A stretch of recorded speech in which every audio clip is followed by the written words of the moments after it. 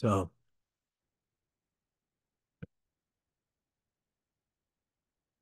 very good. Baruch atah Adonai Eloheinu melech haolam, shehakol neh b'dvarim. Amen. Chaim, everybody, l'chaim. And that's the same blessing over the sushi, by the way. So shahakol. It's okay. Welcome, everybody around the table, everybody around the world, Montreal and beyond. L'chaim. And welcome for advice for life. The Lubavitcher Rebbe's guidance towards a more meaningful, purposeful life. Now, I've been doing JLI now for just 20 years. Yeah. And I must say, I'm always excited to teach a JLI course because they are superb. Um, the way they're written, structured, it's amazing. But I must say that this particular course, I am actually more excited than maybe for the last 10 years, the courses that I've been giving. And because that's something that's very dear and near to my heart. Being that I'm a shliach of the Rebbe, an emissary of the Rebbe, and I feel that that is my uh, greatest um, claim to fame. yes, I'm a father of 10 and a grandfather of many more. Uh, Baruch Hashem. But I really credit that to my connection to the Rebbe. As the Rebbe is my teacher, my mentor, my um, father, as I and king, all in one. so um, anything that I am is thanks to him. That's how I feel. And therefore, getting teachings that are based from on from him directly and how that guides our lives um, to me is of utmost value and importance. So I'm going to share the screen over here. Let's hope this works well. Yeah, you have it there? Mm -hmm. Wow. We're off to, we're off and running. Okay. Is that the way we want it? Not necessarily, but let's see if we do something here. Ah, there we go.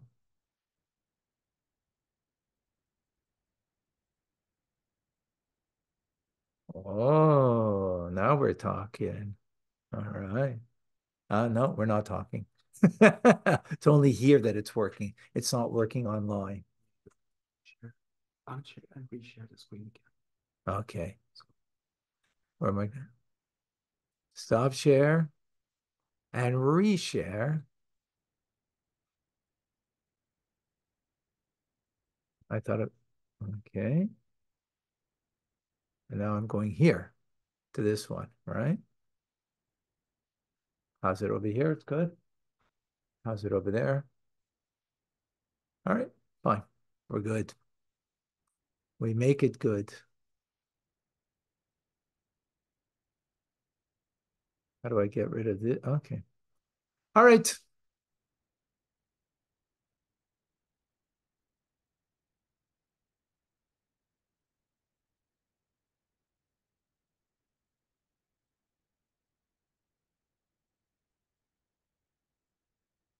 There we go. So the Rebbe, born in 1902 in Ukraine, we could most definitely say has impacted uh, the Jewish world and beyond the Jewish world, um, beyond um, compare. And especially when you consider that in 1940, when the previous Rebbe came to America, and when the Rebbe took over the leadership in 1950 and taking over the leadership in 1950, a Farbrengen was held in the upstairs uh, um, study hall that comfort un uncomfortably would fit a hundred people.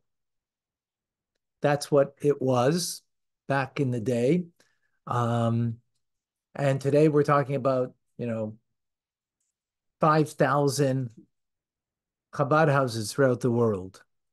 So the Rebbe's visionary uh, leadership qualities are obviously remarkable.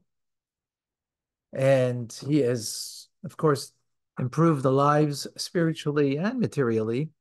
Jewish people, there's probably no one, almost no Jew throughout the world that has not been touched directly or indirectly by, by the Rebbe. Um, and the title, you know, the Rebbe, is unique in the fact that there are other Rebbes from other dynasties, but the Rebbe is unique. And when you say the Rebbe, everybody knows who we're talking about. So the impact and the leadership is something well known, but something that's less well known is the Rebbe's extraordinary genius in Torah study. If you will, if you look in the back over there, you see that top shelf of the black sefarim? That's from the Rebbe's Farbrengens until 1992, from 1980. That's 12 years, right? If you have the rest of the other 30 years of, so you're talking about taking up maybe the whole back shelf over there, just about. Or maybe that is, uh, one second, maybe I'm mistaken. No, that is. Um, so that's only the talks themselves but then you have what's Likutei Sichos, 36 volumes, and I'm involved right now, myself and many others, learning two Sichas, two teachings a week, and that'll take us 10 years to finish 36 volumes. That's how much there is uh, of the Rebbe's uh, teachings. And then there is the thousands of letters, the thousands of letters that the Rebbe wrote to individuals. But before we get any further, let's get some uh, a collage of noted personalities and ooh, what they have to say about the Rebbe. Hold on one second. Realize I have to do something when we do that. Optimize it. And then, okay, we're good.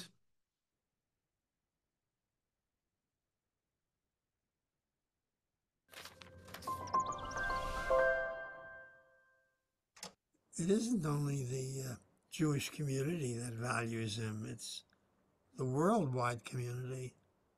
And so many come here to receive his blessing. Today, the Rebbe will be posthumously awarded the Congressional Gold Medal. A man who dedicated his life to helping others and to bringing people together. The Speaker of the House and I have many disagreements. But there's one thing, there is at least one thing on which we do agree. That is the awarding of this medal. This award, it brought Democrats and Republicans, liberals, conservatives, northerners and southerners, blacks, whites, and Hispanics. It brought us all together. I remember the 70th birthday. People say that he was the Baal Shem I rather compared him to the Maggid of Mezerich although he never moved, he didn't travel. The Tofber of Mezerich was the one actually who built. The Rebbe was like the Maggid. He had vision and wisdom and knowledge and everything else, but in, in practical life, he was an architect. He, he knew whom to send where. I think the Shaliach himself didn't know why he was sent somewhere, but he knew. The Rebbe was an architect in this part, in this respect. He knew how to build and uh, therefore I uh, have asked for the blessings of uh, the rabbi, of our great teacher. Um, rabbi Schneerson is a great man in Israel. All of us respect him. All of us accept his judgment. He is a great uh, lover of the house of Israel. He has uh, shown his deep sentiment and love for our children.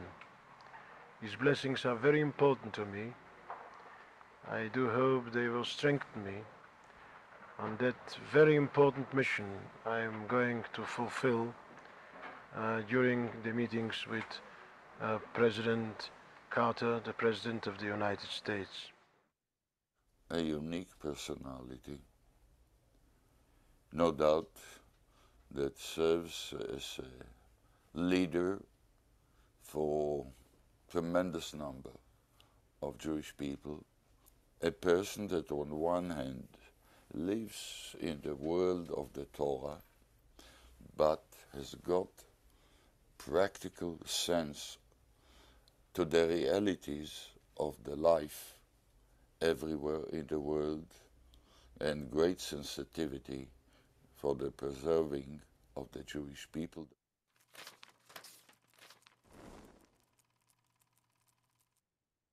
So, as I said, being a shliach, of course, I am biased about the magnificence, the greatness of the Rebbe as a leader, no doubt. But I think the facts do speak for themselves, and other others speak about the Rebbe. Now, the fact that leaders would want to sought out his guidance, rabbis and educators, heads of organizations, that's understandable. But what's surprising is that a good part, if not the greater part, of what he wrote and even spoke about, even though they were Torah teachings, but they were about the mundane life, day to day living, whether it was about health, whether it was about education, career, marriage, emotional health, you name it. The Rebbe spoke about it. He wrote about it to individuals. Now, to get a blessing from a Rebbe who's a righteous individual, that makes sense. You get that. You know, I asked two times for physical things that I had, I needed a blessing for, getting four wisdom teeth removed, right? and I had a back, bad back, a sciatica that was on my back for two weeks. In the first instance, the Rebbe gave me a blessing, Askel Alitzin, you remembered at the at the great site, and uh, I four wisdom teeth taken out. I didn't take any medicine, nothing. I mean, extraction it was put under it was you know 45 years ago that that happened. And then for my back, the Rebbe said to check your tefillin and mezuzahs. And interestingly enough, I had just checked them three months earlier. The Rebbe said, you know what you do? You, you listen, got them checked, got them checked, and there was some problems with my mezuzahs. Got them fixed, and things got better. So those things people were familiar with. But to get advice when it comes to mundane matters, right? Whether it's business issues, health issues, you should go to the expert in the field the people went to the Rebbe, right? They went to the Rebbe. And, and, and again, most of the responses that, that are written in in the Igros, in, in the uh, letters, are about mundane issues of life. By the dollars, the famous dollar lines from 1986 to 1992, where thousands of people every Sunday would come by for dollars. Um, those questions were also asked for the most part. So we're going to return to that. How is it that the Rebbe can respond to these things? How do we understand that? The fact is he did, but we'll get back there. Let's begin.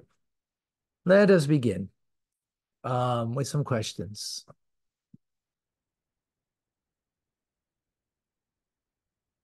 Exercise 1.1. You have it on page four in so, what is the Jewish view of work, of work, career, and wealth? in the back. Our books will be coming, God willing, uh, middle of the week. Found there? Yeah. Okay. There's pens there too. So, in your estimation, what is the Jewish religious view on work and career? You have A, B, C, or D in your estimation for when uh, number two, what is the Jewish religious view on affluence?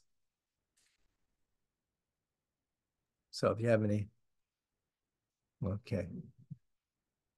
All right, good, perfect. Anybody? Any thoughts? Huh? B for, okay, part and parcel of the Jew, okay. Is encouraged. Okay. Huh? You took C? Depends on? Okay, depends on? No, no, sorry. Yeah. Oh, the first one, C. and second one's actually- Both C. Okay, good, excellent. Welcome, Chana. Okay, excellent. Thank you for sharing. Let's go to the Torah view on wealth, and we will see that it's not so simple. It's a little complicated. Let's start with the first two verses. Okay. Deuteronomy. We have a verse that says Yeshurun, which refers to the Jewish people, grew fat and kicked, meaning they rebelled. You grew fat, thick, rotund. Israel forsook the God who made them and spurned the rock of their salvation. Text number 1b from Proverbs, King Solomon and his great wisdom. A poor person speaks with supplication, a rich person relies on impudence. Hmm. So, is that an argument for wealth or against wealth?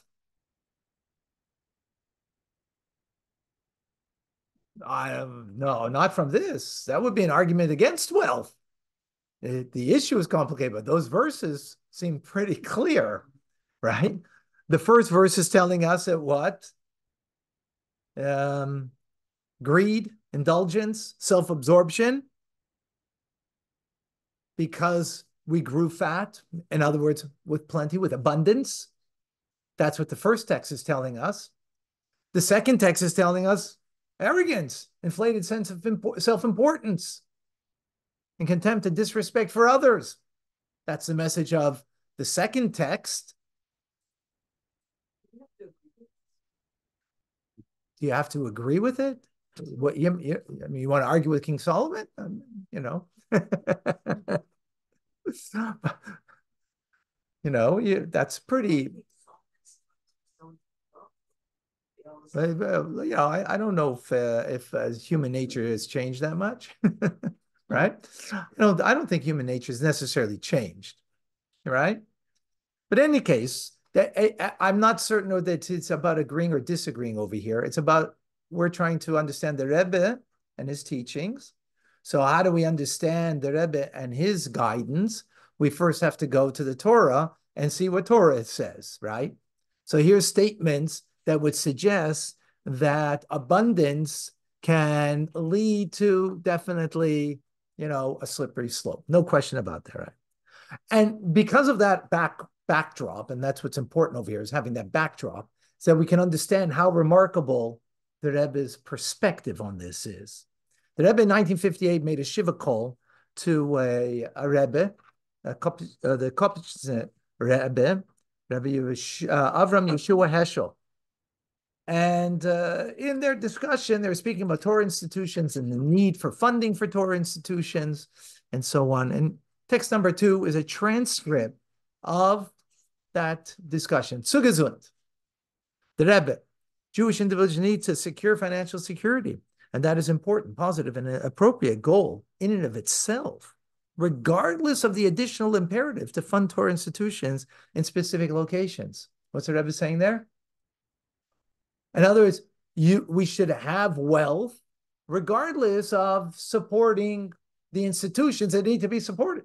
That's what the Rebbe said, right? Financial success enables Jews to live comfortably and expansively, and it will also enable them to broaden their perspectives. Our sages taught that a beautiful home expands one's mind, and they meant that in the most literal sense. If only all Jewish people would be wealthy, the Rebbe says to him, 1958 right? The Kopnitzer Rebbe, wealth is a challenge. I fear the test that it possesses, he responded to the Rebbe, right? The Rebbe responded, poverty is equally a challenge. If there must be a challenge, the test of wealth is preferable over that of poverty. God will certainly help us successfully withstand the challenge. Ooh. Wow. So the Rebbe, uh, in their conversation, it seems the Rebbe is very much when Jews get together, and especially when two lofty souls like they get together, that if they come to an agreement on something, that that has an effect in heaven. So the Rebbe wanted very much that he should agree with the idea. And he said to him, Do you agree that Jews should be blessed with wealth? And the Rebbe said, Wholeheartedly agree. in the end, he said, Yes. Uh, it, seemed to be a, like a heaven, like, you know, heaven, listen, we decided on earth here. This is what the Jews need wealth. and as Rebbe said, wealth is a test. And in fact, it is. But poverty is also a test. How so? How so? Oh, keep the faith in tough times. Exactly. It's not so easy, right?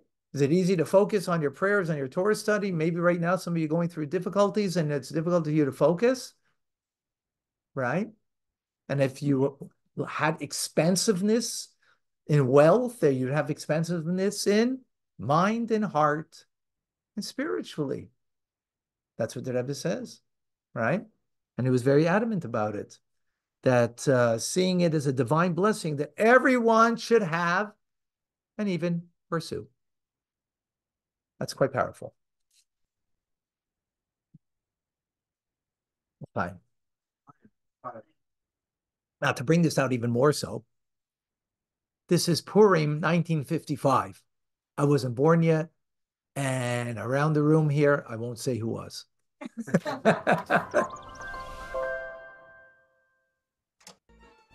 we'll start with Purim 1955, when the Rebbe spoke about the test of wealth and then made an incredible offer. Der von ist ein sehr schwerer. Von deswegen alle Jiden gesorgt alle werden gewinnen. In Amerika ist er minig, jede Sache stellt Wut als Abstimmung. Maske im Mann nehmen als die, der ist der. Und der Haravani, was und der Milchome haben. Mit dem Jezer sie nicht Machschel sein, der rechte Hand der Scholle. We were sitting by a Farbrengen, and the Rebbe said that anyone who wants to become wealthy, raise your hands. Now, who has the audacity that I should ask the Rebbe about Gashmias? The Rebbe is for Ruchnistik, so most of the people wouldn't have the audacity to raise their hand.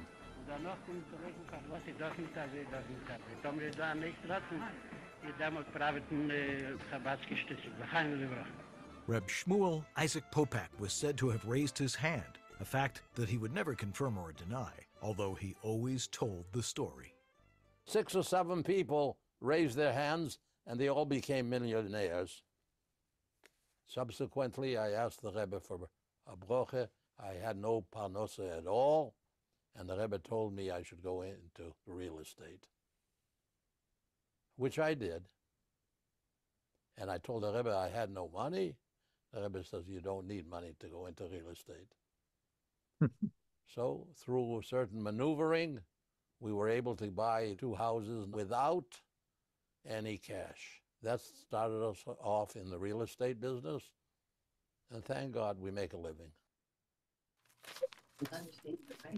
Understatement. Yeah, passed away a few years ago and left for six children, tens of millions each. tens of millions each. Tens. Huh? You'll have to go and ask him. Uh, uh, yes, so so then the obvious question though, why would a spiritual leader, right, advocates affluence, right? You know, in a Chabad house, what are we trying to do here? What are you doing here now? Am I teaching you how to become successful business people? No, learning Torah. Tomorrow morning, come and daven with us. And after davening, you know what we're going to do? We're going to learn some more Torah. Yet, the Rebbe, who is the ultimate spiritual leader, he's advocating this affluence. So we need to understand. So to appreciate the Rebbe's stance on wealth, we got to zoom out a little and get a little perspective on work in general, concept of work. How does society view work? How does the Rebbe view work? Of course, all based on the Torah. So society, how's it view work? Simply, it's a necessary evil.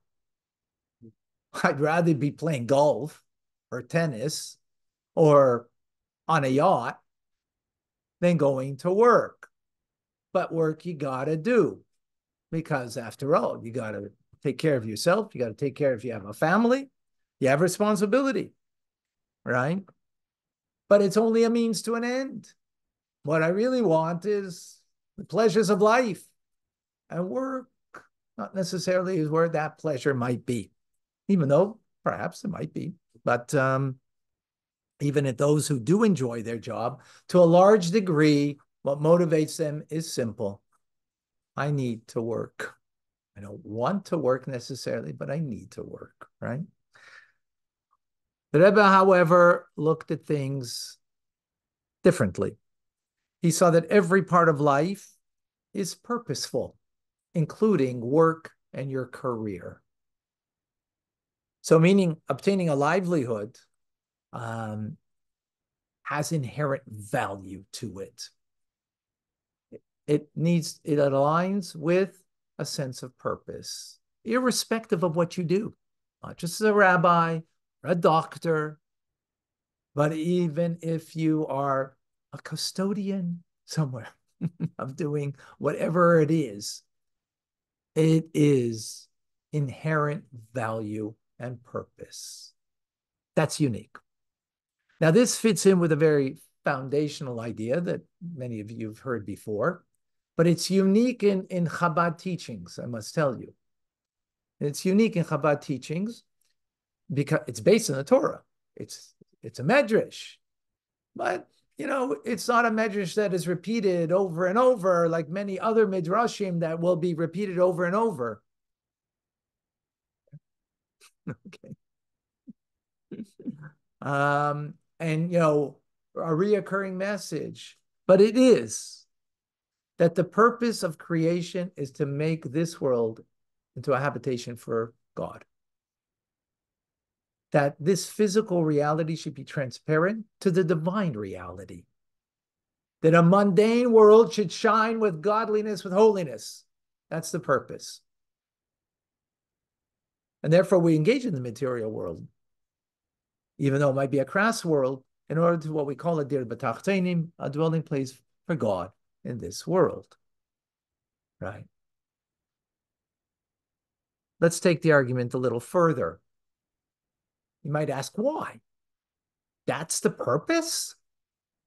The purpose isn't to sit and learn a whole day and pray a whole day? I mean, come on, you're in Chabad house. I want you to be here all day tomorrow because I'm, uh, you know, it gets lonely that I have to learn by myself. right?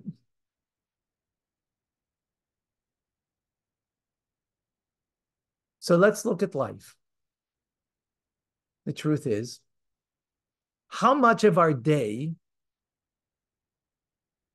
do we spend in spiritual stuff and how much of our day we spend in mundane activity? right? Mundane activities, much more. Going to work, if you're working an eight hour day, or if you're working at home and now, you know, might be less hours, but it takes up much more than the time that you daven, more uh, the time that you learn. So most of your day is really made up of mundane activity. Let's look on how God creates the world. Six days he works, to create a world, and the seventh day he rests. Likewise, we work for six days, seven days we rest. One day that's dedicated to God, right? And the rest is dedicated to Daf Machan That's the way it is on a weekly basis. That's the way it is on a daily basis, as the Rebbe explains. Text number three, please.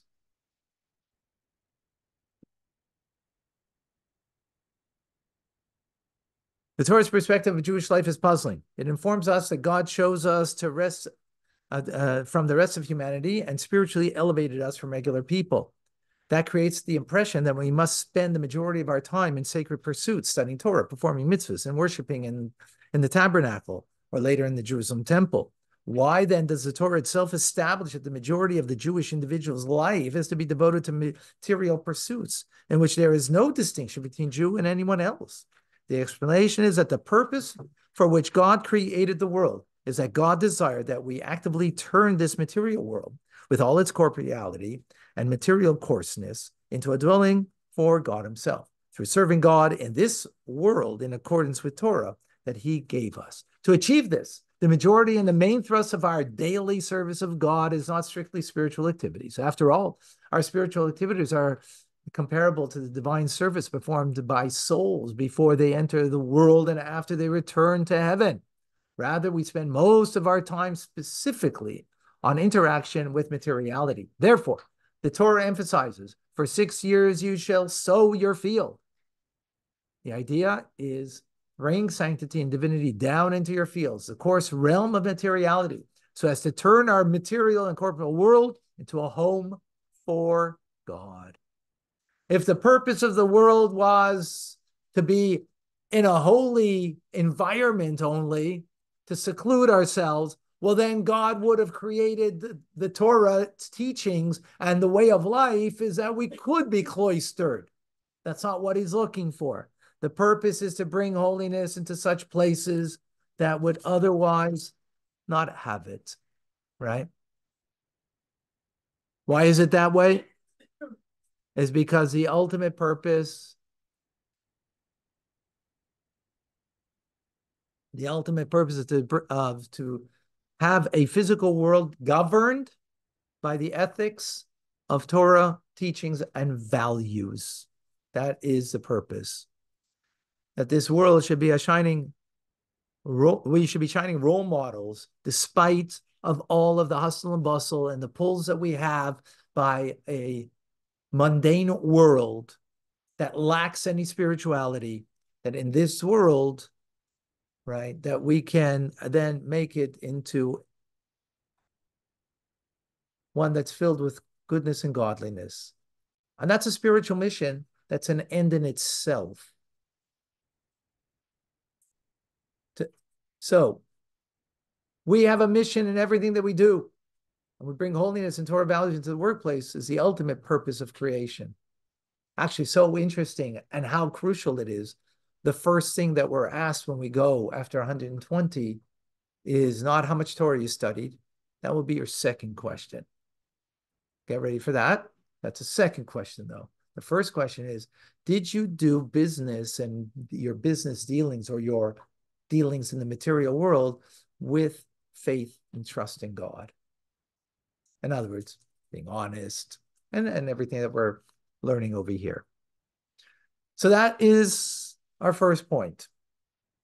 Second point is, in addition to the spiritual purpose, the workplace is something unique.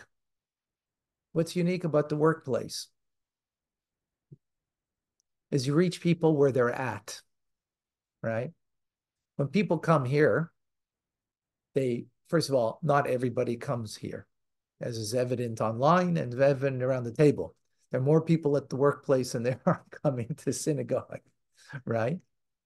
So first of all, when they come here, they're on their best behavior. When they're at work, they might be on a different level of behavior. Secondly, I only reach people that will come here or try to reach them elsewhere. But when you are in business and you are dealing with people in your business, you're peer to peer, right? That you're reaching out to them. So, this is another important element of why we have to deal and engage in the material world because then we meet people who are in the material world who are not spiritually enlightened and spiritually imbued with Jewish values and teachings. And we need to be a positive influence. We need to be a positive influence and make a difference in their lives. Text number four, please. My grandfather, Reb Shmuel of Lubavitch, the fourth Lubavitcher Rebbe, the uh, had a close follower by the name of Elia Abeller, who, in terms of scholarship and aptitude, was a simple fellow. In one of Abelia's private audiences with my grandfather, he was told, Elia, I envy you. You travel to various fairs where you meet many people. In the middle of a business transaction, you get into a spirited discussion over a Torah insight, something inspirational you recall from the public Ein Yaakov class that retells stories and ethical teachings from the Talmud. When you do that, you arouse the other person's interest, interest in studying Torah. This activity causes much joy on high. God rewards such trade with blessings of children, wealth, and sustenance. The larger the fair, the more work there is, and the greater is the livelihood earned. Let us see more on that in the following video. I just started a new job in IBM, and Hey Teves comes along, and the Rebbe says on that day that everybody should be like a shliach. I didn't know what did the Rebbe mean. Everybody should be a shliach. Maybe he means that I gotta quit my job and like stop becoming a campus shliach or something like that. I wrote into the Rebbe, should I give up my job for IBM? what is it that the Rebbe wants? And the Rebbe like underlines it on the answer and with a big, just one word question, word answer. Lama, why do you have to give up your job in IBM? I want you to stay in those things and be my shliach. Madische mitzad gever kinonu, als wo er kommt und was er am Ende die Masse er kommt, soll er dorten Schmäh von dem Mäbischten, soll er dorten machen, dass in der Leben als er sein Lischake, bis wir Schachanti besechen, ohne mit dich, in seine eigene Dalle Dame ist und er noch gleich, al besser, besser mit Bachutz, And that was what I ended up doing. I stayed in IBM. I had a very, very matzliachtik uh, uh, career. So if you would give a warm round of applause for Mr. Moshe Rappoport from IBM. But I felt all the time that I was doing shlichus. In other words, I would make speeches all over the world. Your desktop or on your wall, or you're going to be wearing and so on that are AI driven, but the real all through my career, I would write to the Rebbe what was going on, what I was doing. be secure. How are we going to manage the access control? Top people, CEOs, politicians, famous journalists from all over the world came to find out what IBM was doing in research. And I got to meet all these people with my yarmulke, with my beard, and so on and so forth. Jewish people came over to me. And I was actually a shliach in that sense. Where offices um, center in Hong Kong should click on this. You certainly know that now Hong Kong is a visiting place for many Jews from several countries. And then you can influence them during their visit in Hong Kong when they are returning to their homes, they will bring with them additional Yerushalayim. And that will be your, your business also. אני במקצועי נייבל ארכיטקט, יש לי מפעל בארץ גדול, ובזכות ברכתו מלפני שנתיים במכתב שכבודו כתב לי, Yeah. שקיבלתי ממנו, קיבלנו עבודה גדולה מאוד, שני מיליון דולר, בצבא ארצות הברית, חודש אחרי המכתב. חודש אחרי קבלת המכתב קיבלנו את העבודה הכי גדולה בחיינו מהצבא האמריקאי. ואיזו התחלה גדולה, ובאמת יש בכך יכול לעשות כפליים. אני מקווה, אני משתדל. והרבה עובדים שלי שלא היו יראי שמיים, כשזה קרה, חזרו בתשובה. וזה הודות לכבוד הרב. עדיין עליך להוסיף עוד יותר בירושלים שלו, כאילו שלבחור יילו ויעשו כליך על כל פנים החצי עמו.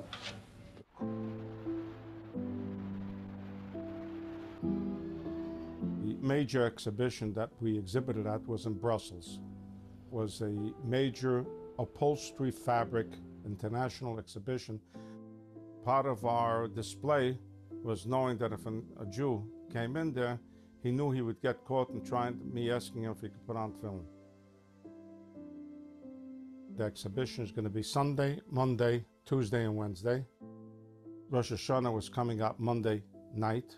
To come in for one half a day on Monday exhibition, it's a little bit crazy. On the other hand, I knew the Rebbe wanted we should always be at the exhibition, so we're going. Rabbi Chodakov let me know that the Rebbe suggested that we put up a sign at the beginning of the show that due to the Sabbath we're going to be closed at Friday 2:30, so the customers they'll know in the beginning of the show they should come into you right away. At about 1:30, suddenly uh, I see a gentleman walking up and down past our stand where there's thousands of people walking. But I see he keeps looking at the sign and he's asking, Tell me, what is this closing the Sabbath? It's an international exhibition. What's this closing Rosh Hashanah? I said, Where are you from, sir? He says, Ich bin a Polische. So I started dealing with a Jew. Said, How about putting on tefillin? He looks at me like I went crazy. Crazy. He said, Tefillin? Who believes in all of this? I don't believe in God. I don't believe in anything. He says, Ich bin durchgegangen Hitler. I went through Hitler. I never put on tefillin, he says. I said, my friend, I understand you 100%. Once in your lifetime, you didn't have a bar you said. You'll be able to say, you're right, God wasn't right to you, and you had a bar mitzvah. He took off his jacket, and we put him on tefillin. Ah, the minute he said Shema Yisrael, he broke down and started crying. He says, Ich kenne He was holding us out, Ich kenne And he sat down and he didn't know what to do, how to thank us. You can imagine how we felt. Business, we didn't do that much, but we knew what we came for and we knew we were going to have a good year.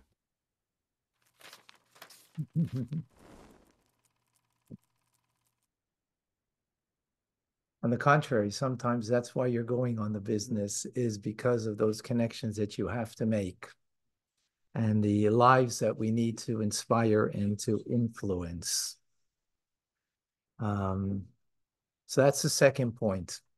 The spiritual purpose of a career, a workplace affords unique opportunities to inspire others to be better people and better Jews. Okay. So we mentioned before, you know,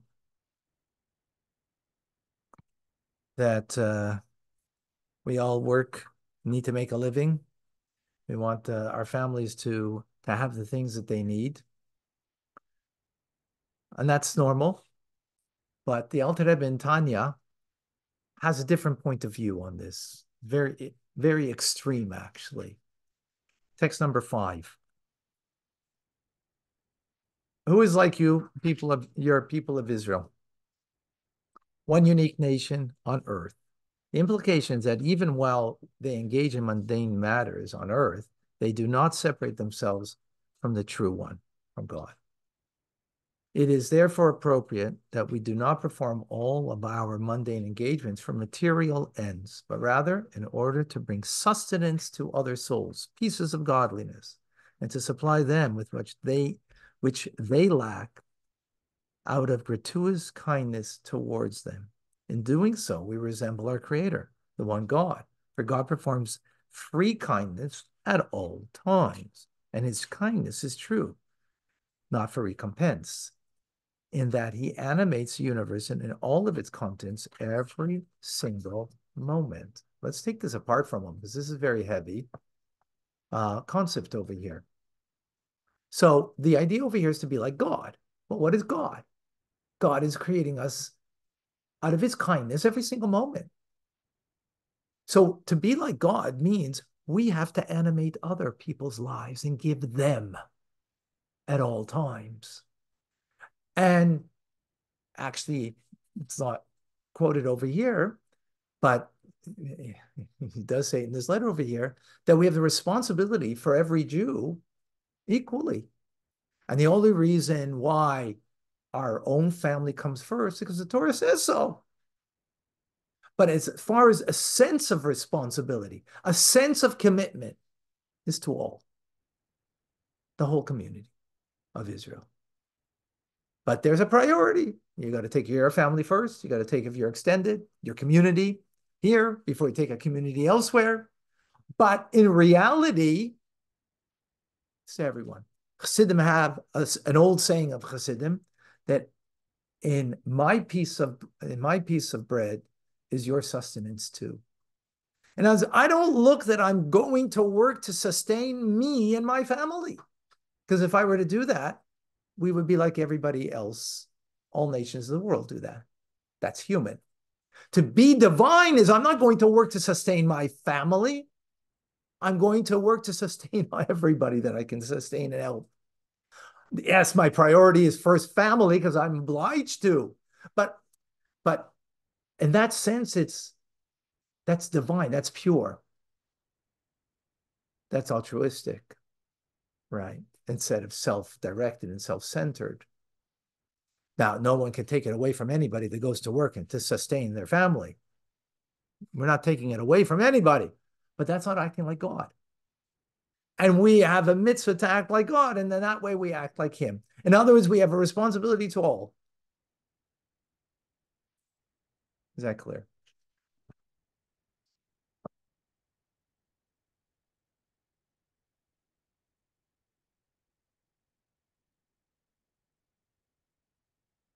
Yes. So as a result, what does that mean as a result? Okay, we have responsibility. So uh, in 1959, uh, my, uh, one of my teachers, his brother in, in, in Kfar Chabad, was a farmer, and he had his means, and he was doing okay. Opportunity came in 19, uh, 1959. He became a farmer. In 1970, he had an opportunity that he could purchase uh, a larger area of land and a cheap price, and the potential of revenue would be enormous. He wrote into the Rebbe, Rebbe, I don't know if I should do this. I've got enough. And I'm afraid that it might take away from other things in my life, like my Torah study and, you know, other things. The Rebbe told him, no, go for it. You should go for it. Um, text number six. You question whether you, it is appropriate for you to desire to further expand your income. That question has already been answered. 10% of earnings must be given to charity. And ideally, for those who wish to step beyond the basic requirement and enhance their observance, 20%. In fact, Rabbi Shneur Zalman of Liadi, the Alter Rebbe, the author of Tanya, first Chabad Rebbe, explains that it is appropriate to give even more than that. This is especially relevant now that the institutions that require charitable support require expansion, and therefore their financial needs are constantly growing as well. Con consequently, additional charity is required, and that demands greater income. so go to work so you can make more money. Why? Because we're responsible for the community. Now, that doesn't mean everybody. That's the same. You know, it's, it's not an answer to everybody across the board.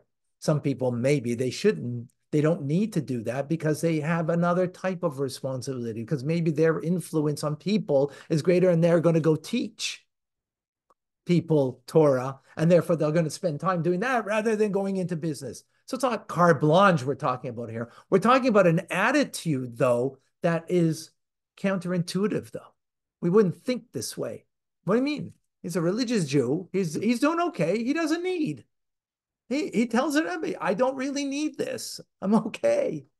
You don't need it, but the institutions need it. The community needs it. And I guess he wasn't the teacher right? He wasn't the or the community leader and that he was an organizer in other manners in other ways, right? And therefore he wasn't needed in that realm. So what do you know what you're needed for? Your purpose is go to work and make more money. And so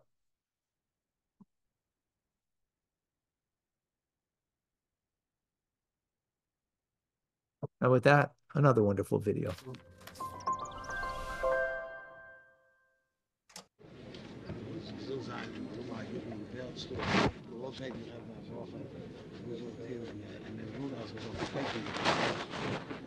Baptism? Ja, ja.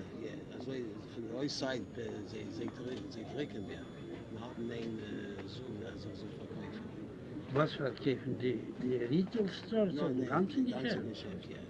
als es erst äh, der Umstände ist, wo es so geht. Und äh, die Sache so, soll sie suchen die Company, die, die Menschen, wo ich sage, suchen, dass sie können wachsen, ob andere, andere Menschen kommen rein mit der Sache, ihr Geld. Was da eine gute Sache, was darf sie auch jeden Nein, andere? Nein, wo nicht, wo nicht. Aber, Sie wussten, Rebbe Eins, also... Nein, mit was man sich ist, eben, ich komme selbst schon ein Team. Aber eben mit dem Geld, was Sie bekommen, wird das Investen in mein Geschäft. Geschäft.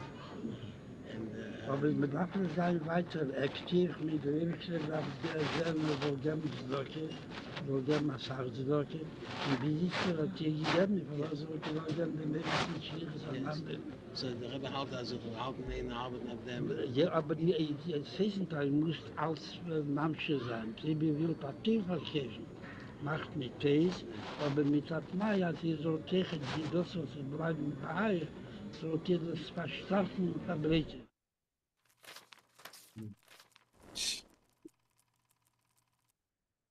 He wants an easy out. The Rebbe's not giving him an easy out. Why? Because he doesn't say because you should, you can have more. He didn't say that. That way you can buy a yacht, right? He said because you're going to give more. Because we have that. The basis of it is, as the Alter Rebbe writes there, is right. We are not like the nations of the world that we just take care of what's my personal needs, which is my family, my personal responsibility. Our responsibility is the entire community, right? That's our responsibility. Now, how that shapes itself, you know, I do that as more as a teacher than, right? Uh, as a rabbi. But that's me. Most people are not like me. Most people work. So don't give an excuse why you're not making lots of money. work, make lots of money. Not because you need it, because I need it. Very good. With that, L'chaim, a bracha I'm giving everybody over here. You should be exceedingly wealthy. L'chaim. Wealthy and healthy. Yeah. All right.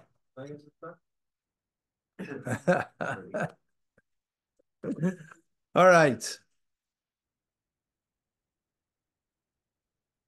Exercise 1.2 on page 15, please.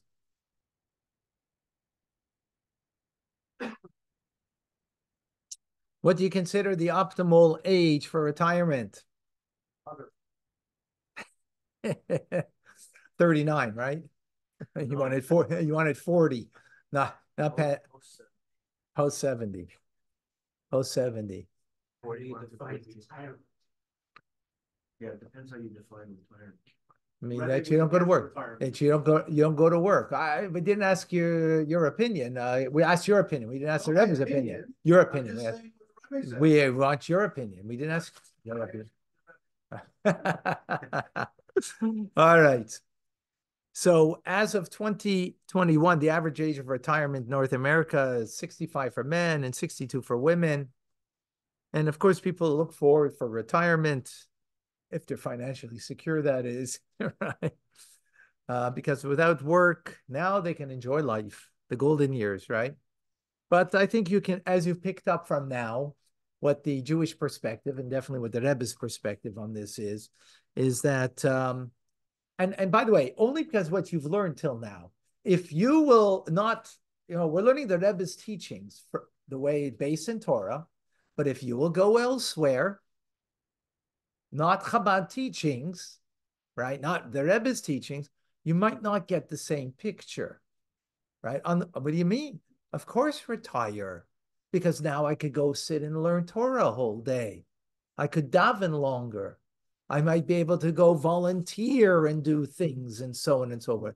And and there's an argument to be made for that, right? There is an argument to be made for that, right? And again, we can't strike the brush across for everybody is exactly the same. But the uniqueness over here is not to retire, right? That's what we that's what's surprising that you sh- that you shouldn't retire. As the Rebbe tells us.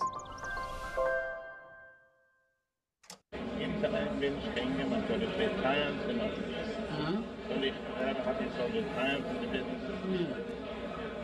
Das hat nicht viel Ja. Wie nennt ich das? Du solltest in der Qualität Ja, aber das, ja, aber wie nennt man vorher? Am Leben, dass wir lernen nennen. Okay, Das ist ein Neuen Mord. Ja. Ich finde, Rebbe soll beten für gesunde Nachfrage. Ja, soll ich sagen, wenn die gesund haben, gesunde Kinder und haben gesunde Psyche, so dann macht man schon viel besser. Ja, maar dat is Und deswegen retire.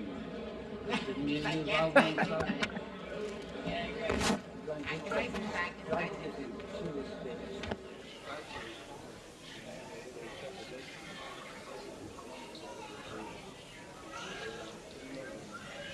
dann geht das gleich mit dem Zustand. Sind französische Frau, die können die Hälfte im Haus. The retirement is designed for old people, or young young person. At 220, how much you money you need? 220, you have 45 years. To be good, to, to, to, to the best thing for you and uh, Geschäften, that you can certainly continue it, not has to to thinking about retiring. You must uh, gain much more money to give, to give much more tzedakah and to do so in good mood and good health together with your family. And things are moving along well, and I'm not going to retire. Yeah, thank you. Forget about it. Forget about it. Yeah, forget about it. Forget about. The Rebbe led by example. 1972, the Rebbe turned Yud Aleph Nissen, 70 years old, and he got many letters from people, people who are followers, even Rebbe, you know, slow down a bit. And the Rebbe's pace was quite, you know, quite a quick one. And slowed down a bit. And the Rebbe said, no, quite the opposite. God gives another year, therefore we got to do more. And in that year, he asked that there should be 71 new institutions that should be created throughout the year. Um, and um, that our efforts should become greater and greater. So the Rebbe is very adamantly against. Why? Well, because retirement means that everything that you've done till now at work was not only a means to an end. It was not an end in itself. What we just learned are three reasons why they're an end in themselves. Because the whole purpose is the mundane world, making a dwelling place for God. So if you are an honest person in your work and you bring sanctity in the workplace, the influence that you have in others, and what the and the tzedakah, the good that you can do when the charitable giving. Those are all three things an end in themselves that have a value in continue working. There's a lot of side benefits also. You keep healthier, by the way, when you're working rather than when you're retired. Right. That becomes a different word from retiree. I don't want to say that word, but you know, that's what happens because you don't use your mind. You become re mm-hmm. right. It's by the way, it's not a joke. It ha- that's what happens because it, you know you you don't you don't use it, you lose it exactly. Right. So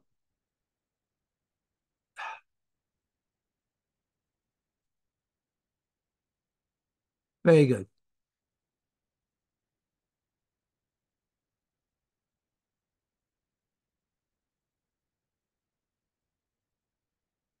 All right. So we've been speaking about the need for the material world to be engaged in, right?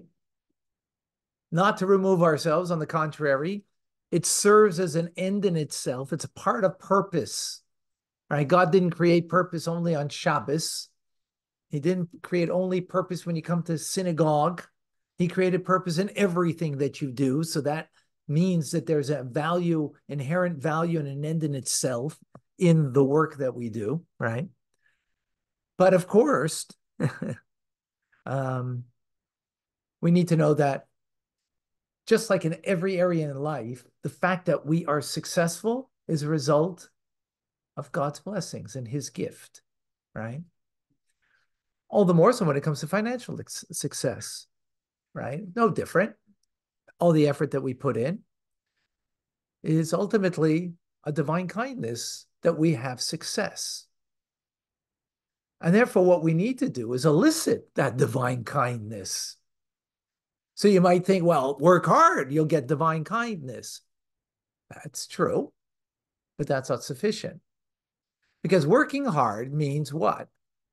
That, that you are just engaged in the a material world, and perhaps you're divorcing it from the spiritual world.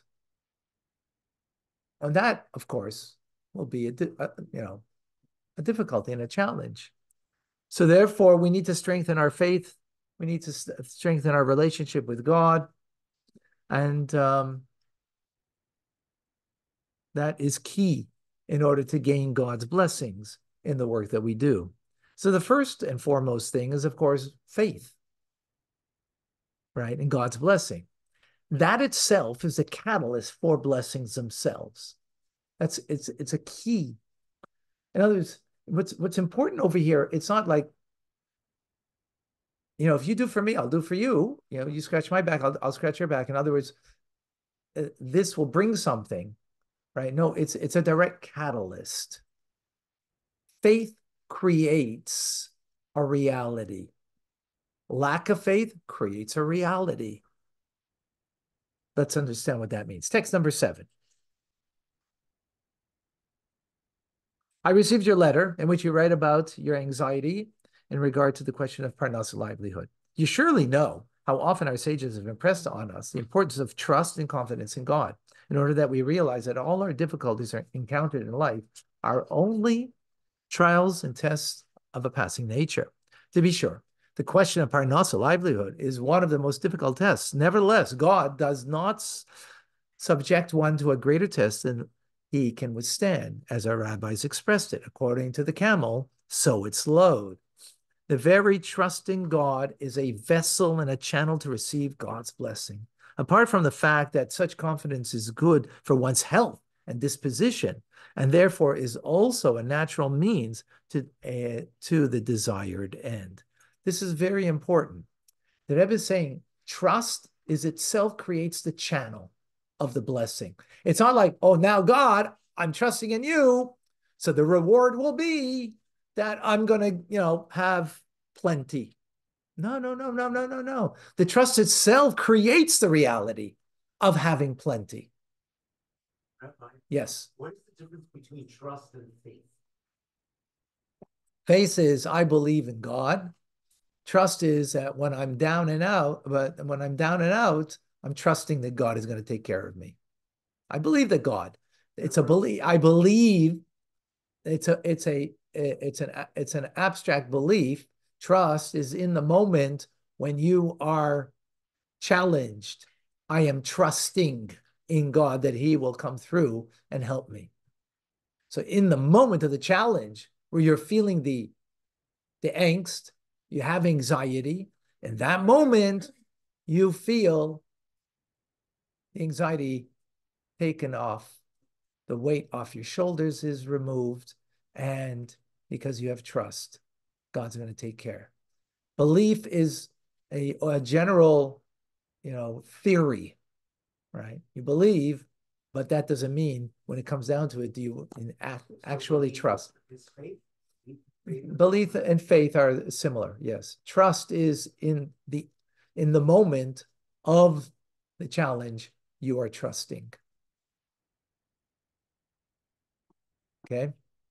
It's sort of like that. It's the trust is the emotional um, disposition in the moment that you have a challenge that you are trusting. Faith is a belief. It's not an emotional disposition. It's a belief. But that doesn't mean beliefs we live with.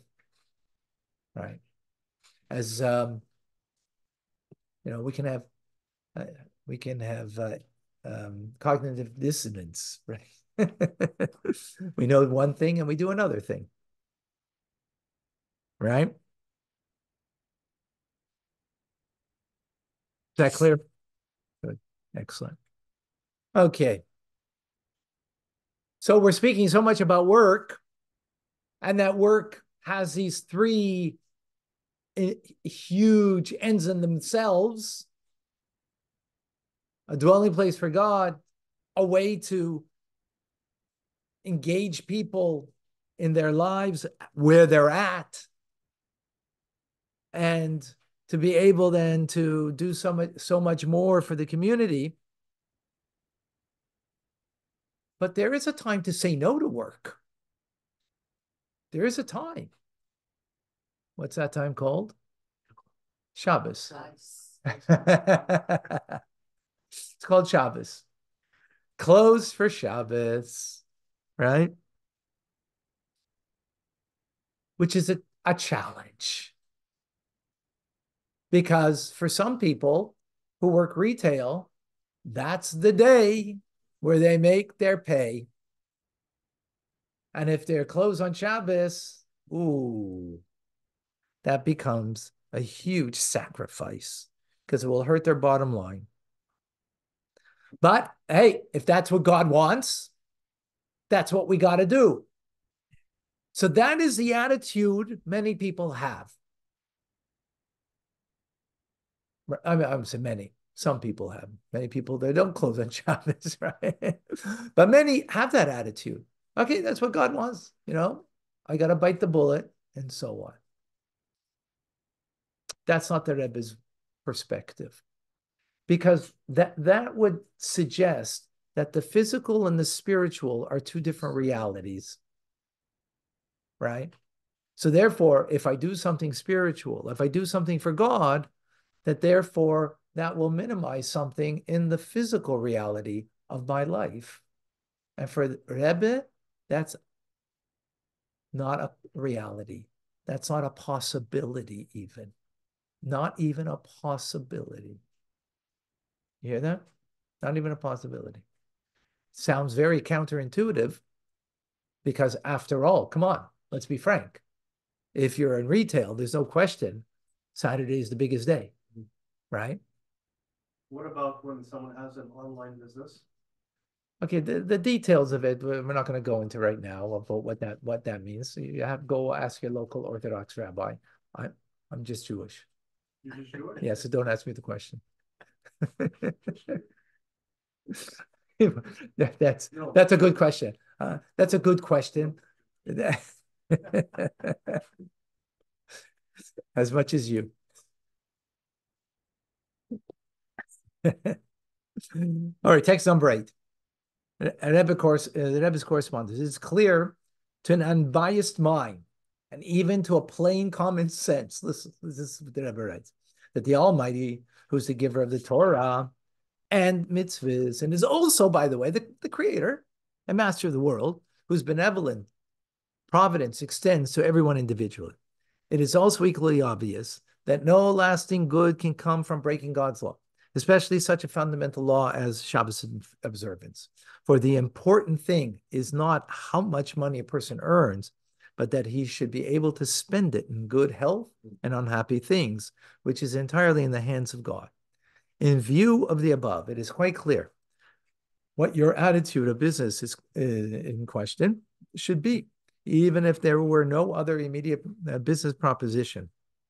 For it's necessary without delay to give up the kind of business that interferes with Shabbos observance with full, with full confidence that he who feeds and sustains 3 billion people, that was, that was, uh, this is in uh, 1971, 50 odd years ago, right? And all living things will also be able to take care of the individual and his family and provide him with a source of parnasa livelihood, which should not be in conflict with the will of God. That is very important. It was not necessarily always, it, it was always, a, it's a sentiment in Torah, but not always was it the sentiment that was pronounced by leaders because it was a huge sacrifice. When you came to America, right, before the war or even after the war, how many people worked six days and then What happened on the eighth day? They had to find a new job. They had to find a new job. They didn't go to. They didn't go to. They didn't go to shul. They didn't go to uh, work on Shabbos. They didn't have a job on on on on Sunday. What what Monday? Sunday. They didn't have a job on Sunday, and they did that week after week. That's a huge test. The Rebbe is saying that actually more than that. There's no doubt if we have trust in God, and this is trust, right? When you're going something through that, that God will provide. It's not possible if you're going to listen to what God says that He will not provide. Now, you can throw yourself under the bus and not trust in God, but then you then create the funnel, the channel to be a conduit for that blessing. So it's not enough that you just keep Shabbos. You have to also believe that was the first point we made. Second point is one needs to do what you need to do.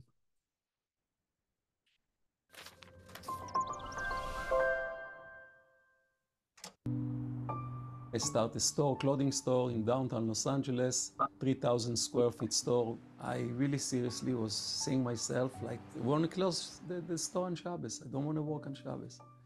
But it was difficult to think like this because most of the business you're doing on Shabbos. There was some Shabbos I used to sell $5,000, $10,000, $15,000 on Shabbos. During the week, barely I can sell $100, $150 the contract, the lease I have, I was obligated 20 years lease. The owner, he warning me in the beginning, if you ever was thinking to leave this lease, I'm going to run after you to the rest of your life. I'm not going to let you go out from it. So I wrote to the Rebbe, told them, Rebbe, I decide to close my store on Shabbos. I would like to have a blessing. I should not get hurt. I'm getting a letter, and in the envelope I open, I see 18 דולר, and then it say, אחד, מתחיל מקודם שקיעת החמה וגדול הזכות. שניים, להפיץ את התורה מתוך שמחה. שלוש, לתת צדקה שמה, to give צדקה at the money what he gave me. The next day I say, I'm going to go to the landlord, and I'm going to give him the lease, and the landlord was not there. I came back to my store, there is a guy walking to my store. He wants to buy the store, he's telling me. So I told him, go to the landlord. He's telling me, I was with the landlord. I say, what the landlord told you? He say, you holding the lease, אתה מחזיק את החוזה. He took a checkbook and uh, he wrote me a nice check. Just can tell you, with this check I bought a house and I started manufacturing. And I remember going to the Rebbe and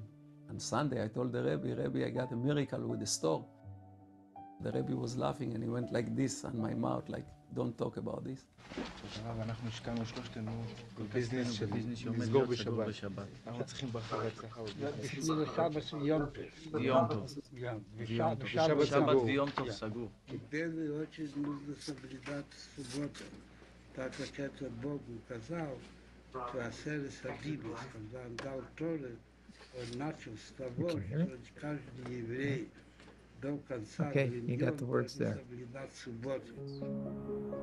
I started my practice on Newlands Avenue, and things looked very bleak. It wasn't going anywhere. I remember having a friend. I happened to have mentioned to him that I was having some problems. This young man Yeah. suggested that the Rebbe would be able to help me. So put it up lo- loud. so And I made an you. appointment with the Rebbe. I started to tell him I wasn't doing well here in Brooklyn and I was able to find a place in Bayside. I was going to be starting an office there. He says, "You- you, do you work on Shabbos? And I said, yes, I do. And he says, now you're going to a new place. He says, you're moving. Perhaps you ought to think about not working on Shabbos. It became known that Dr. Walensky did not, doesn't work on Saturday. And it was unheard of. Dr. Walensky goes to a shul. I was very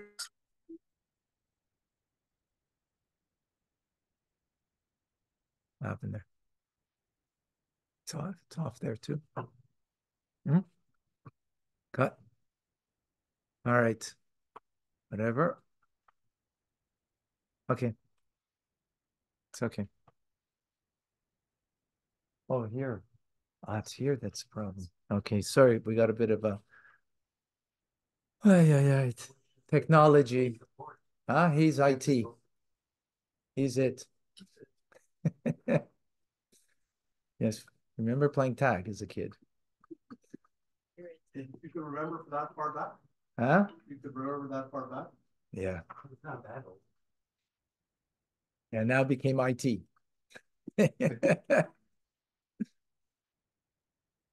Okay. All right. So you got the gist of it there. All right. Um, oh, look what happened here. Oh, it's re oh, it's re All right, folks. What's online? So they online they do have You're good. Here too. It'll be good here. No, I have to redo it here. So I have to stop sharing then, no? Not necessarily, just. No, how, I, I don't see, look on the bottom here. I don't see in the bottom here.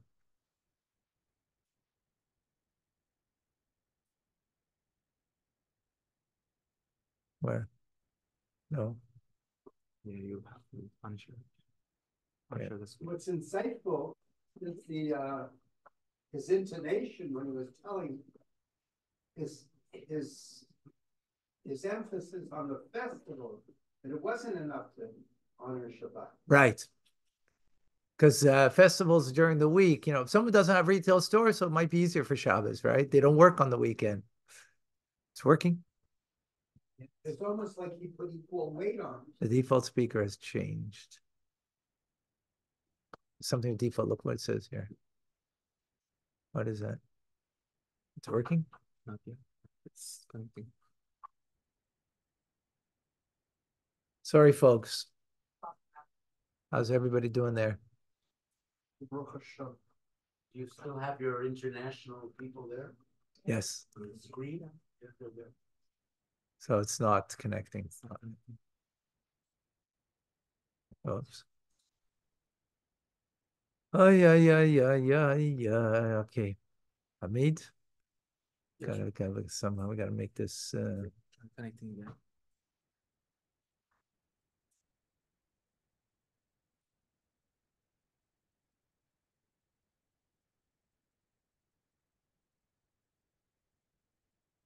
uh, take something to drink, have some sushi.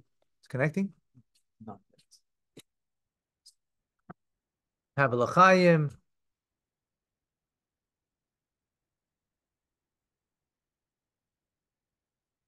Connected? No. Not yet. Huh? No, no, it says, it shows here still connecting. Didn't say that it didn't connect. Are you, what did you do? Now it's connecting. Hmm? No, couldn't connect. Try again or? Pause. I'm gonna restart.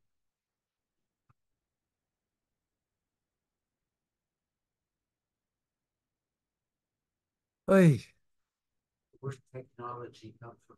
Good, but not him. Hebrew source of language. It's restarting. Just it a moment that much.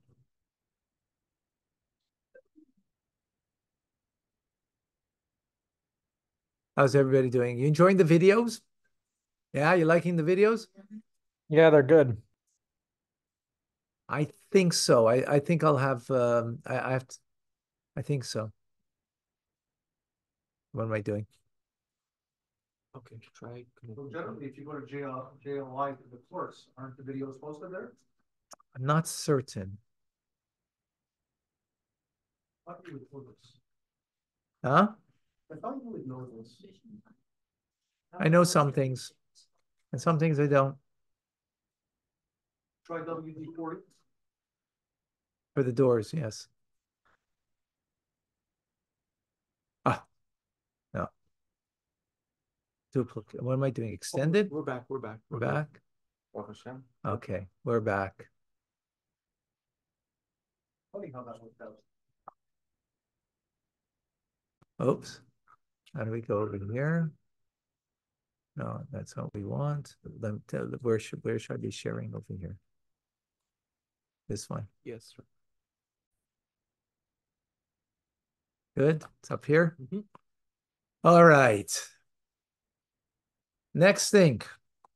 So again, we spoke about the importance of, of engaging in the work, engaging in material world, in work, the importance and the value of it, right?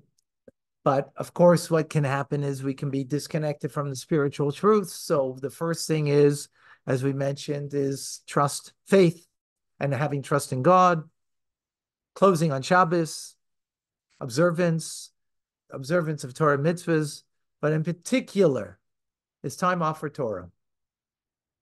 Right? That is the particular of, of in particular importance. We can get so, you know, engaged engaged in in in the material world as uh, uh, Chassid came to the Rebbe Rashab and he opened up a, a big factory making galoshes and he was speaking to him about the business and he commented to him he says I've seen feet in galoshes you know what galoshes are right mm-hmm. rubbers I've seen feet in galoshes but I haven't seen a head in galoshes right in other words it's one thing to engage in business and to use your acumen for it, but leave your real head for study of Torah. Right? To use your mind, don't use it just for business. Don't have your head in galoshes. Have your head in Torah study. That's truly important. Uh, and and not not just because, of course, you know, how could you not have Torah in your life? But vis-a-vis business, even, how important it is to be successful in the business world and you are divorced from the study of Torah will mitigate your success. Text number nine, please. Although this eats into the time that usually uh, dedicated to work, not only will the study not detract from your overall success, but to the contrary, says Rebbe. Torah study clears and refines the mind to be able to make better business decisions with greater clarity and efficiency. It calms the spirit, leading to greater success in business and greater happiness in life, period. This phenomenon is expressed clearly in the Torah itself. If you go in my way and fulfill my commandments, I will provide rain in an optimal time. When you dedicate time for Torah study, we are guaranteed the divine blessings for success in a way that is optimal without stress and worry. Especially if you use your if your business for as a Chabad house, meaning you have a lunch and learn at your place of business, right? So you're using it as a vehicle uh, in a divine manner. And the final thing is, of course, we all believe the value of charity, of philanthropy, and often it feels good to give, but sometimes not so easy to give because it hurts, right? So here's another key. Not only Torah study, not only Torah study is doesn't hinder your work, it will enhance your business life. Right? That's that's counterintuitive. More time I spend in business, I'm going to spend an hour a day working, uh, studying in my business, that's taking an hour from business. I'll study at night when I'm tired. Like people are a little tired now, right? Spend that hour also during the day. That's counterintuitive. That's my work time. That's where I got to focus. No, the Rebbe is saying the opposite. There's another thing is giving money is a sense that I'm taking away something from me. Now I got to do it. To mitzvah. I have obligation. I've got to give uh, 10%. Fine. But it is taking away. Well, why should it hurt? Because it's taking away something from me. Right? The Rebbe says the opposite. The Rebbe says the opposite. By giving tzedakah, and the more you give, actually, what are you in fact doing? What are you doing? You're opening the channels to receive more. Why? Why? Because you're you're you're making Hashem happy. More than that. You're you're making God your partner. You've got a partner in your business now, God Almighty. And what greater partner could you have? So if you think of your business and giving tzedakah in that manner, it's not going to hurt. Not only won't hurt, it's going to help. That's counterintuitive. That I got to do it, get it. When you got to do something, it hurts, by the way. When you want to do it, because this increases your partner's engagement in your business, he's going to give you more. Oh, now you sing and dance doing it. Very different. Text number 10. I hope that from now on you will realize more fully and confidently that God is your partner in the business by virtue of the tzedakah charity stake in it. And of course, the larger the share of the tzedakah, the larger is the share of the partnership. So you can boldly, so you can go boldly ahead on a broader front. I hope to hear good news from you. God is your partner, and the more you invest in Him, the greater the partnership He invests back in you. Wow. Oh no. Why is this not working? My uh, business is Something- very hold- bad. hold on a I hope second. that you can give me a brachas of my Yeah, business. you footage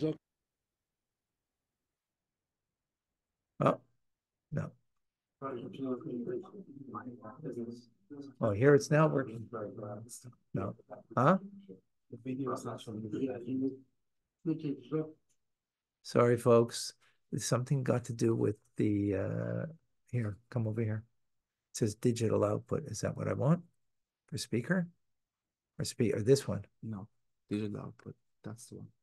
That's where it was. It's just a Roku. It's causing a problem. Could it Be slow internet speed.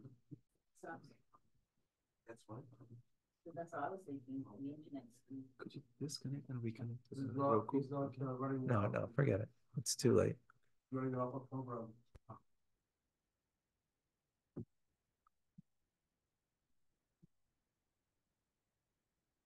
Okay. I'm sorry, folks. Okay, how do I get this to go? You know, let's go back. Then we go forward. No, it's. All right, you can watch, folks. You hear it there? My uh, business has been very bad. Watching? I hope to God you can give me a brachas of my Yeah, business. you your business and Yes. to arrange to have at least ten percent given for the net income of the business to tzedakah, to charity. Here, you're not hearing? Yeah, God Almighty bless you, have good news. That I is didn't good. share it. Docupushki for the business. Yeah, Thank hear it? you. You You hear it? arrange to have at least אני דור 11 מ- בישראל, אני פיתחתי נושא חדש שמאוד חשוב לי לשלמות המשפחה ולהצלחה של המשפחה, אני מבקש את ברכתך. ההמצאה היא המצאה מאוד חשובה ויחידה בעולם. באיזה- באיזה שטח? בשטח האלקטרוניקה, אלקטרוניקה. אחסון, אחסון של מידע מחשבים דרך הטלפון, זו ההמצאה الخداع مولانا نجيب أصلخارة باب فرطبة تلقنا كتير لهاشم شتيت مزدكار مزدكار أسر أخوزين إن هذا خامتي جنب رخاوة أصلخارة أصلخارة عبد الله رحمه زن بدير زن بدير Now it starts. All right, we got the gist of it. We got the gist of it. Ten percent. Yeah. Rebbe then went further and said, not only about the giving tzedakah, but to make a pushka, a charity box, in every office, in every home, and not only that, in your home, put it on the wall. Fasten it to the wall. Have one charity box fastened to the wall. Why? Because now the house becomes a vehicle of charity. The house now is nullable. Imagine you have a little box like this. We have in our kitchen. They ever said in a place like kitchen is the best place because that's where you're often around. If you're Jewish, that is. right? Have a pushka all fastened, not next to the wall, fastened to the wall. that means it's part of the house. So the house now becomes nullified to the pushka. It becomes now a charity home. Not it's a home that gives charity. The home is charity.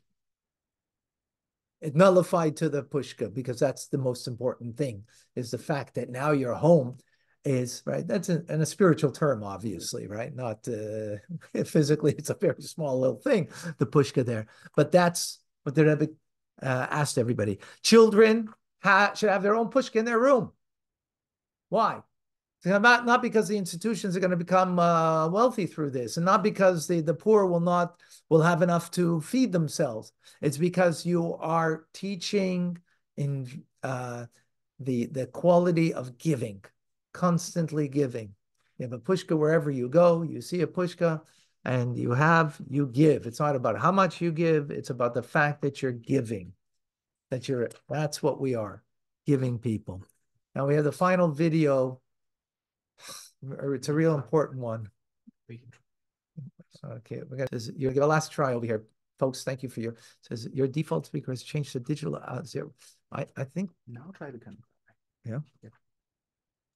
You mean up here? Yeah, Not connected. Okay.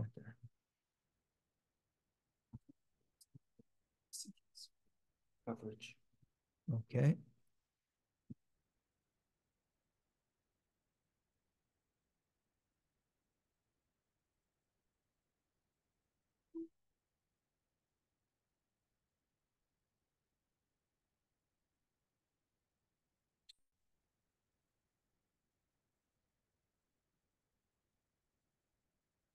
Yeah, it's good. Not yet. Well, here, duplicate, where am I? Extend, right? Uh, extend, right? Extend, yeah. Oh, no, so it's on there. Okay.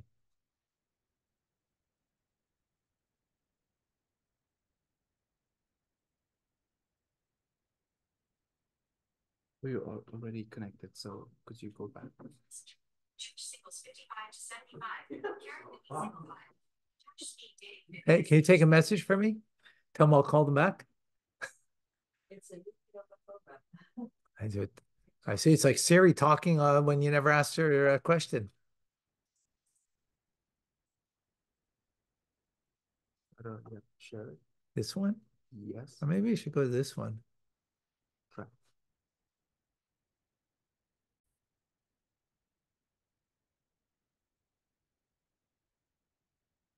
No, we don't see anything in the back. You don't see, huh? Nothing here?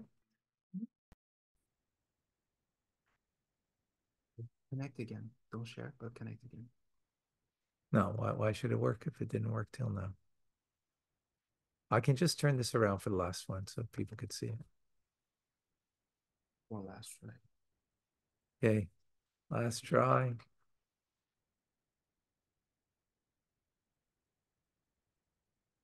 Did you disconnect the code in the past?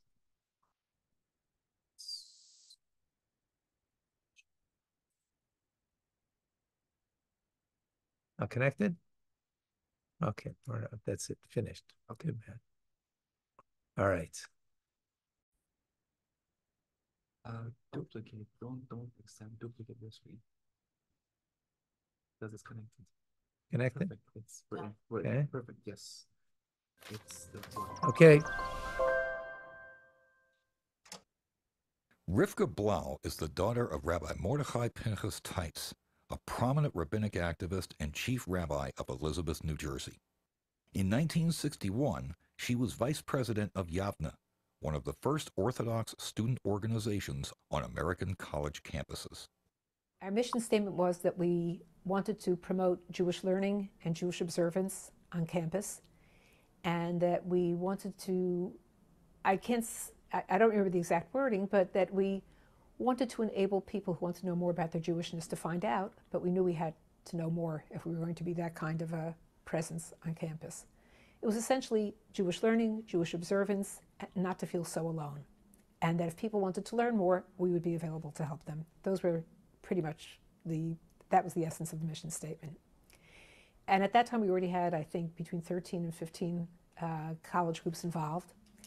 And, um, and we also had isolated students in different places. At Rutgers, we had three or four students. At University of Pennsylvania, we had some students. Now, at that time, the Lubavitch Rebbe had a representative who would come to Columbia and who got friendly with the president of Yavne, uh, Joel Levine. And this young man, uh, his last name was Feller, um, uh, told Joel and me, well, actually, he told Joel first, and then Joel told me that he wanted to meet with two officers of Yavne and talk to us about how we had gotten started and what we were doing. Our appointment was for 10 o'clock at night, so we came to 770 Eastern Parkway at um, 10 o'clock at night, and we were asked to come in to see the Rebbe at 12 o'clock. And he asked us many detailed questions about how we had started, how we had found each other, what we were finding on campus, what were the problems, what were the possibilities, what opportunity was there for people who were interested in finding more about their Jewishness, uh, how could we reach them, uh, what do we find worked well, what did we find, what we found did not work. Very, very to the point questions. At the end, he said, Well, I've asked you a lot of questions. Would you like to ask me some questions? And I, I had no questions to ask of the Rebbe. I was thought that this was a wonderful meeting that we had just now had, and I said, No, thank you. And the fellow who was with me said, Well, yes, I've spent a Shabbos or two here in Crown Heights, courtesy of this uh, young man that I know from Lubavitch. And I hear all kinds of wonder stories about you. I hear that you know better than the doctor whether there should be surgery or not. You know better than the lawyer which way to proceed with a case. Do you know more medicine than the doctors? Do you know more law than the lawyers? I mean, what kind of thing is this? So the Rebbe smiled and um, he said, You know, when a house gets built, uh, the architect draws up a blueprint. He gives the blueprint to the contractor. And then the contractor tells the plumber how to do the plumbing, the mason how to do the masonry, the electrician how to do the electricity, the electrical work. He said it's not that the contractor can do it better than everybody, but he can read the blueprint, and that's why he can give the instructions. So he said, Hashem istakel vara alma. The blueprint of the world is the Torah. So somebody can understand Torah, he can tell other people what they have to do within their own métier.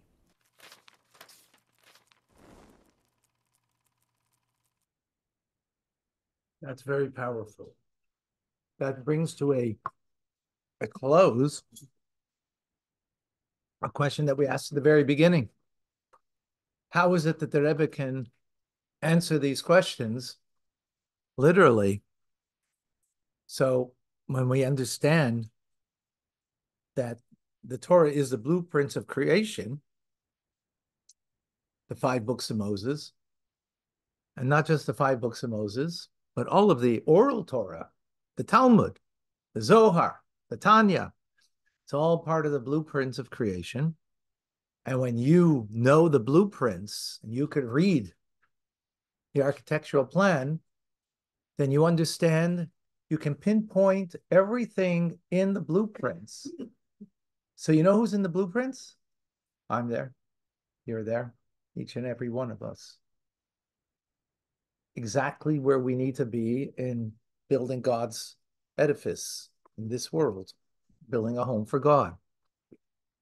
We all have a place that we need to do that, and a manner and how we need to do that, how to do it, with what to do it, and all of those details. The one who's going to give us the greatest guidance. There's no doubt about it because it's proven over time of tens of thousands, hundreds of thousands of people, and what they have asked their for guidance and how it has helped their lives. So that's where we are, and we will uh, continue, God willing, next week with family bliss. Get clarity on family relations, domestic harmony, education, and creating healthy home environment. Just as this has been phenomenal, next week will also be. So, a little Lesson review. one. Meaning at work. 1. People consulted with the Rebbe regarding all areas of life in the belief that his advice stemmed from a deep understanding of the Torah. 2. Work is not just a necessary means of obtaining a livelihood to sustain more elevated achievements. but it has inherent value and purpose. God designed the world in a way that we are forced to spend the majority of our time engaged in work because bringing holiness and Torah values into the mundane workplace is the ultimate purpose of creation. 3. The workplace also affords us unique opportunities to inspire others to be better people. And earning money enables us to partner with God by giving charity to others. 4. The Rebbe was critical of retirement, seeing that work is our means of fulfilling our life purpose. 5. Spiritual investment holds the secret to success in all areas of life, including financial. The Rebbe emphasized the importance of faith in God, Shabbat observance, setting aside time for Torah study, and giving charity as keys to financial success.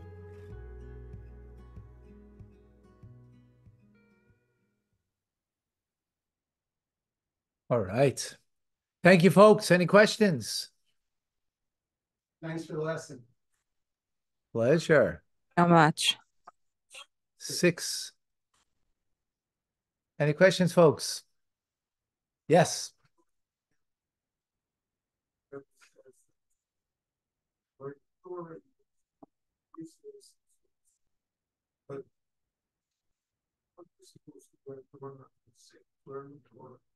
I mean, it's a spin-off, it's closer to content, yes, but the goal, I assume, primary goal is to learn to learn and to get Torah. So David's asking a very good question. Aren't we supposed to learn Torah, uh, lishma, for its own value, for its own sake? And you know, here there was a spin given to it that you know, learning Torah is going to make you better at your business. So I guess it depends. Um, I guess it depends why you're doing your business. If your business is in order to make money so you could help and do more good. And you can make more of an effect on in people's lives. So then that's lishma right? Then then, then fine. Then that means your torah learning is also for the sake of torah learning. The byproduct will be that it's also going to help you in business.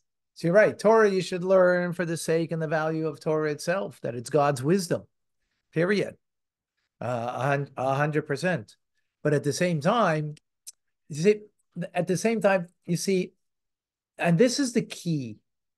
We we have a a a, a natural um, um, disposition of creating dualism. Why? Why do we create dualism? You know why? Because there's up, down, there's right, left, there's good, bad, there's light, dark.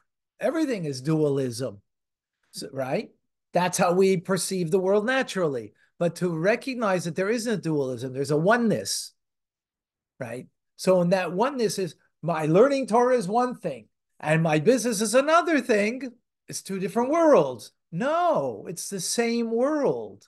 They interface. They gotta come together. They're the flip side of the same coin. That's the that is the counterintuitive thing that the Rebbe is coming to negate.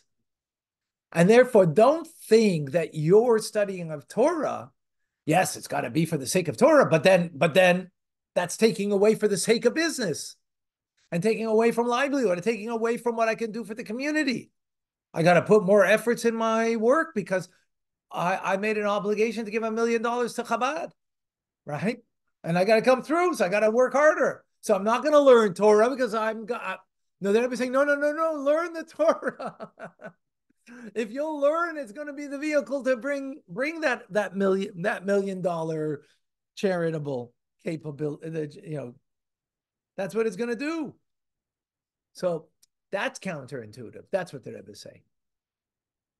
That makes sense? For now. Until you leave.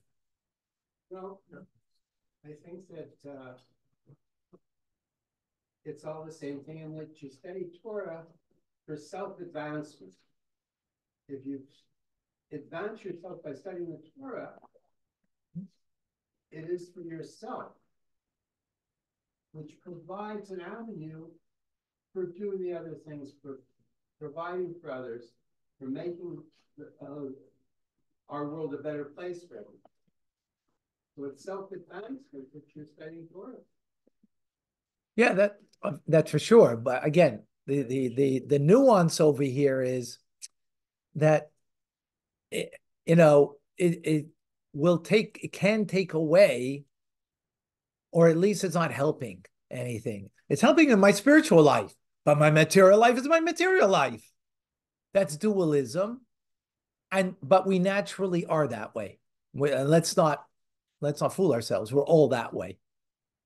Not that we don't so what do we do? We go, we binge on the on the spirituality, and then we, you know, we, we binge on the uh, the materialism because we don't see the interface. Here we're talking about the interface. It's not dualism. In other words, your learning is not only not detracting, it's actually helping your in your business. That's the point. That it's helping in your business life. That's a unique uh, way to look at things. That's that's a unique way to look at it. You know, that's not natural. We don't naturally, intuitively would look at things that way. That that's the point, right? Uh, I hope that's clear. I mean, Yes. yeah. All right. All right. Weighed up in terms of time, how do I divide up my twenty-four hours a day? It, it's actually the quality of what you do, you do less work, less more Torah, and it brings you much more. Those ten minutes extra at work, for example. Right. Yeah. Yes, David. But, um, goal is really to find spiritual meaning in the material world. So if one works, he can find the, the purpose of the work that brings some goodness into this world. Example, let's say somebody works in McDonald's and he is tired and but he works, he washes the dishes, he serves and so on. One would say, well, he works for a living, but no, he feeds the people. And Right. people go on with their lives and they do other things. It's a chain, you're just one link in a chain. And so there is no separation from material and spiritual. The only thing that we benefit by learning Torah Right. is we're learning wiser way, proper way, connection to Hashem, Yep. and that's the whole goal. Yeah. Yep. I heard a story about a guy who was working at the space station years ago, and uh, he was actually a, a cleaner, and someone came to visit him, and they were talking. You know, the. Louder so can they can everybody louder so everybody can hear you.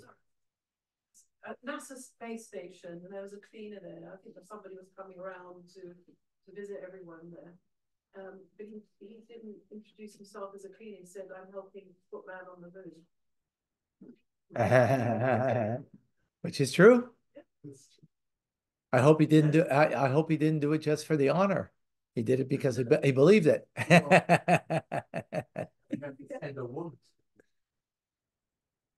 All right. Herschel? All right. All right, folks. Thank you very much. A pleasure. God bless you all. Thank you. We'll see you next week. Thank you, Reverend. Thank you. Whoever didn't get a chance to sign up, please make sure Rena knows because we're ordering our books tomorrow, just in case uh, someone did not sign up yet, so we know how many books to get. Thank you.